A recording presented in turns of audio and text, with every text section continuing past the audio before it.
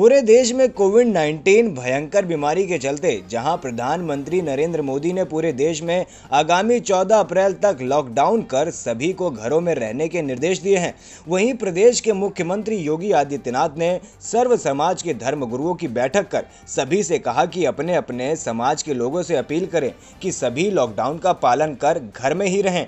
वहीं नजीबाबाद के शहर काजी अफान उल हक ने भी सभी क्षेत्र के जनता से अपील करते हुए कहा कि कोरोना वायरस से घबराए नहीं, खुद बचें और लोगों को बचाएँ। उन्होंने कहा कि कोरोना वायरस से निपटने के लिए पूरी दुनिया और हमारा मुल्क, हिंदुस्तान भी बड़े बड़े कदम उठा रहा है। इस बीमारी से निपटने के लिए डब्ल्यूएचओ और हेल्थ मिनिस्ट्री की तरफ़ से जो एडवाइजरी जारी की गई है उसका सब लोग पालन करें। जिसमें एक अहम कदम और बड़ा फैसला हमारे प्रधानमंत्री नरेंद्र मोदी ने विगत 24 मार्च 2020 से आगामी 14 अप्रैल तक लॉकडाउन कर पूरे देश के नागरिकों को घर में रहने के लिए निर्देशित किया है। शहर के काजी ने कहा कि हम सब शासन प्रशासन के साथ खड़े हैं। हम सब सरकार की गाइडलाइन का पालन भी कर रहे हैं। बिजनौर से आफ्ताब अहमद की रिपोर्ट।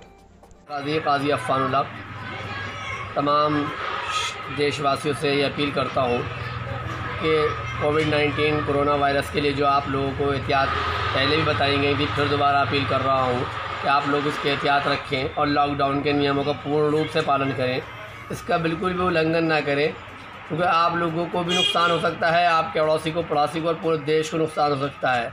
सच्ची देशभक्ति यही है कि आप लॉकडाउन का पालन करें। जैसे कि सर, प्रदेश के मुख्यमंत्री योगी आदित्यनाथ ने अभी निर्देश जारी कराया है, आदेश जारी कराया है। उन्होंने कहा है कि कि सभी धर्मगुरुओं की बैठक भी ली है और ये भी अपील की जा रही है सभी धर्मगुरु अपने अपने समाज को जाकर समझाएँ और लोगों से जो है लॉकडाउन का पालन कराएँ और ठीक उसके बारे में सर, क्या आप अपील कर रहे हैं क्षेत्र के लोगों से? मैं देश के क्षेत्र के सभी मुसलमान समुदाय के लोगों से भी और दीगर लोगों से भी अपील करता हूँ बतौर शहर खाजी के हैसियत से मैं आप लोगों से बार बार रिक्वेस्ट भी कर रहा हूँ कि आप लोग लॉकडाउन का पालन करें और अपने घरों से बाहर ना निकलें।